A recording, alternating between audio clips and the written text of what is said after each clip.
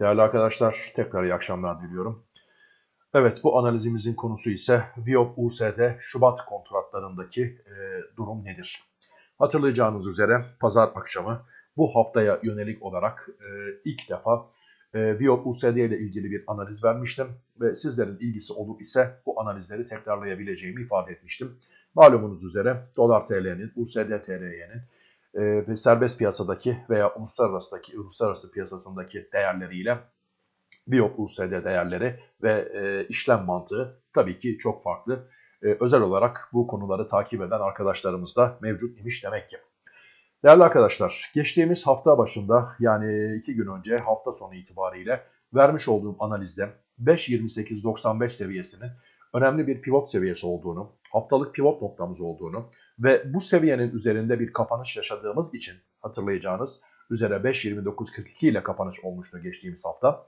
Bu seviyenin üzerinde pivot seviyesinin üzerinde bir kapanış gerçekleştiği için büyük ihtimalle yönümüzün yukarı olabileceğini ve bu noktada nereye kadar yükseliş devam edebilir sorumuzun yanıtı olarak 5.33.64 seviyesine kadar yani bu nokta birinci pivot direncimizde bu seviyeye kadar e, yukarı eğilimin devam edebileceğine vurgu yapmıştım. Ve bu seviyenin ise önemli bir e, destek konumu itibariyle long pozisyonlar adına bir e, stop loss seviyesi olarak da değerlendirilebilmesinin mümkün olabileceğini belirtmiştim. Zira 5.28.95 aşağısında bir seyir hakim olacak olur. Bu seviyenin altına inip de bu noktayı yani genel olarak 5.29-5.30 bölgesini bir direnç olarak algılamaya başlar isek bu durumda 5.25-20'ye kadar devam edebilecek bir geri çekilme olasılığı artmış olacaktır.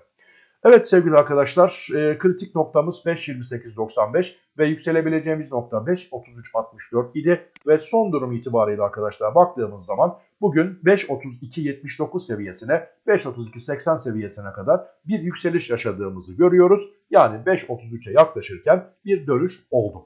Sonuç itibariyle bugün görmüş olduğumuz en düşük seviye 5.29.15 oldu. Dolayısıyla 5.29.15 lik konumunu değerlendirecek olur isek hemen arkadaşlar e, şurada destek pardon 5.28.95'teki desteğimizin çalıştığını, bu destek seviyesine yaklaşırken ise bir tepkinin başlamak suretiyle bu seviyenin aşağısına gelmedi, gelmeksizin günü tamamladığımızı görüyoruz.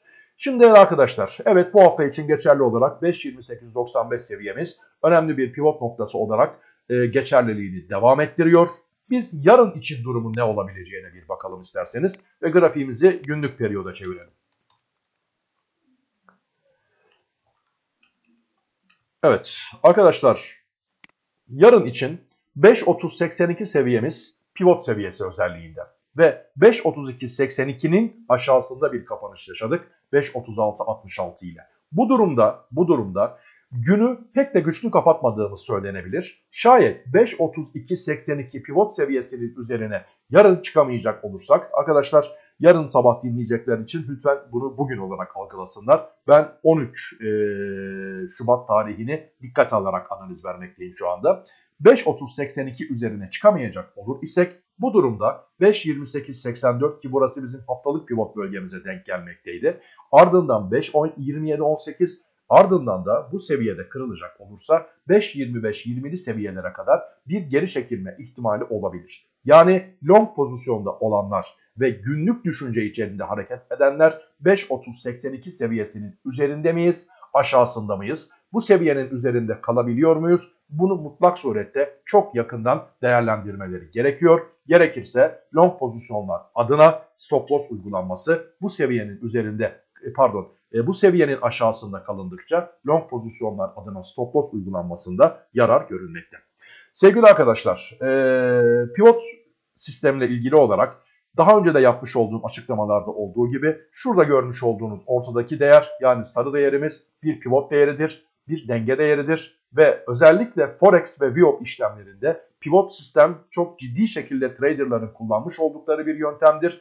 Klasik destek ve dirençleri herkes biliyor veya piyasa bu destek ve dirençleri klasik seviyeleri bildiği için bu seviyelerde zaten benzer hareketleri yapıyor düşüncesiyle her an değişen e, görülen en yüksek en düşük açılış ve kapanış değerlerini esas alarak hesaplanmakta olan pivot verileri daha canlı, daha güncel veriler olarak kabul edildiği için destek ve direnç noktalarının daha sağlıklı çalıştığına kanaat getirilmektedir. Ben de yıllardır gerek Viyop işlemlerinde gerekse e, hisse senedi işlemlerimde veya farklı farklı emtialarla ilgili yapmış olduğum işlemlerde mutlaka kısa ve orta vadeli hatta yeri geldiği zaman 15 dakikalık, yarım saatlik, e, 120 dakikalık gibi pivot verilerini sıklıkla kullanmaktayım.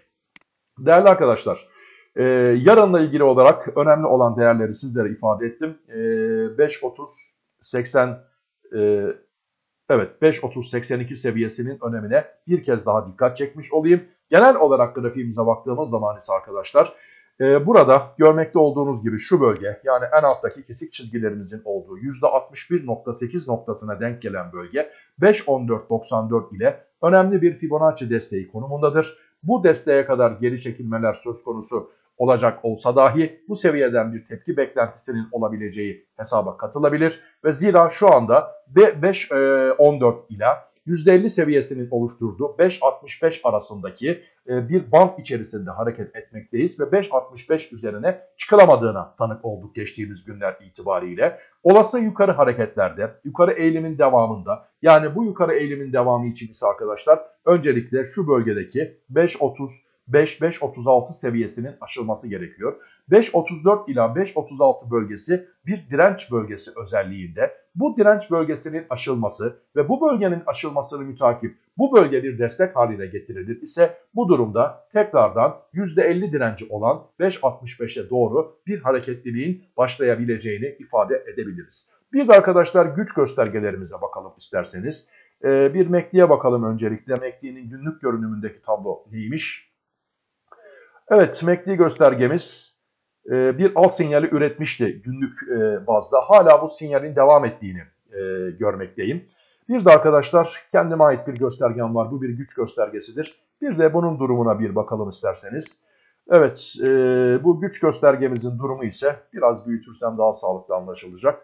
Evet önemli bir referans bölgesi olan 40 bölgesini aştıktan sonra ikinci teyit bölgesi veya yükselişin devamı adına önemli bir nokta olan 50 e, e, seviyesine yaklaşımda burada hafif bir güç kaybı yaşamakta. Henüz net bir geri dönüş sinyali vermiş değil. Hala bu 50 bölgesini aşma ihtimalinin mevcut olduğunu görmekteyim. Ama 50 bölgesine yaklaşırken görmekte olduğunuz gibi bir güç kaybının hafif de olsa mevcut olduğu dikkatimi çekmekte. Bu nedenle arkadaşlar bu gösterge bana bu 50 seviyesinin üzerine çıkılma e, çıkılma aşamasında veya buralara çok yaklaşılmışken bir miktar zorlanma olabileceğini ifade ettiği için burada benim bu noktada dikkat etmem gerekiyor.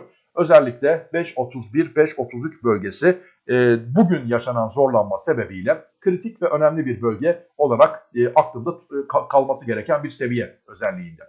Değerli arkadaşlar, evet e, bu hususla ilgili olarak bir de temel faktörler itibariyle bir önceki yorumumda yaklaşık bir saat önce aktardığım ve bu videonun arkasına da ekleyeceğim bir önceki yorumumda Standard Poor's'un Cuma günü açıklayacağı bir Türkiye notu kararı bulunmakta. Arkadaşlar e, bu kurum Türkiye'nin notunu belirleyecek. Değişik zamanlarda e, not görünümünü ve notumuzla ilgili açıklamalar yapmakta kredi derece, derecelendirme kuruluşları.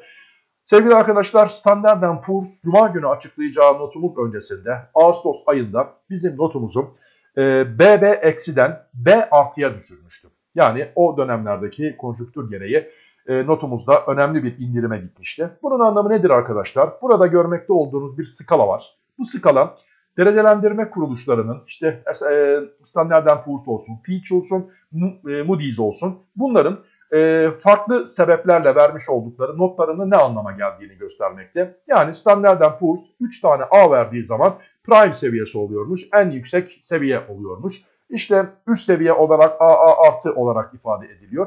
Bu tabloyu screenshot olarak izleyebilirsiniz, inceleyebilirsiniz. Şimdi değerli dostlar bizim en sonki durumumuz yani şu an içinde bulunduğumuz durumumuz BB e, eksiden B artıya düşürülmüş vaziyette. Yani yatırım yapılamaz durumda iken Ağustos ayına kadarki konumumuz bu iken biz son derece spekülatif bir konuma getirilmişiz. Notumuz böyle şekillendirilmiş ve şu an arkadaşlar en son notumuz B artı. Yeni gelecek olan notta Standard Poor's notumuzu artırır mı şeklinde veya artıracak mı şeklinde piyasada ciddi şekilde bir spekülasyon oluşmaya başladı. Bir haber trafiği oluşmaya başladı. Değerli arkadaşlar artıracak mı artırmayacak mı bunu net ve kesin olarak bilmek elbette ki mümkün değil. Sadece içinde bulunduğumuz koşulları dikkate almak kaydıyla son birkaç ay içerisinde ne değişti? Yani Ağustos'ta notumuz düştü ama Ağustos'tan bugüne kadar geçen süre içerisinde notumuzun artırılmasını gerektirebilecek kadar ne durumdayız? Bunun e, muhakemesini yapmak gerekiyor.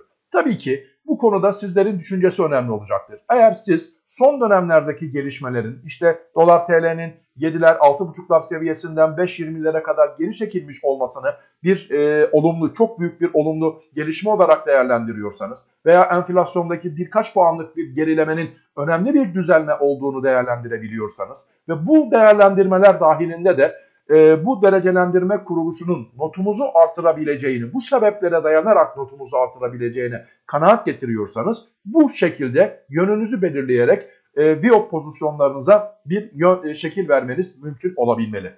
Yani burada sizlerin bakış açısı çok önemli olacaktır. E, ben şahsi düşünce ve kanaatim olarak arkadaşlar şunu belirtmek istiyorum bir not artırımının oluşmasını, bir not artırımının gelmesini şahsım adına beklemiyorum. Zira bu ana kadar ki yapılan e, iyileştirmeler, yapılan atılan atılmış olan adımların henüz net bir şekilde sonuçları görülmüş değil. Dolayısıyla bu sebepler bir not artırımı için geçerli ve yeterli koşullar konumunda değil diye düşünüyorum. Ama ne olabilir?